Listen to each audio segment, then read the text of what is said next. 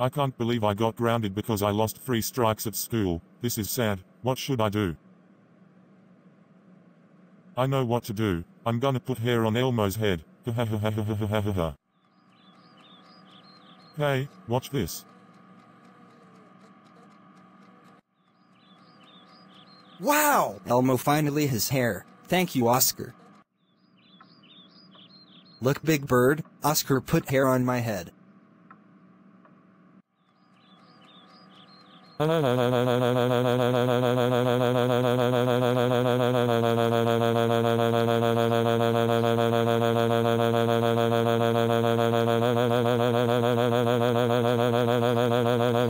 Oscar, how dare you put hair on Elmo? You know he is not a person, he is a furry red monster, that's it. You are grounded until Jonah Productions has 1 million subscribers. Go to your room now.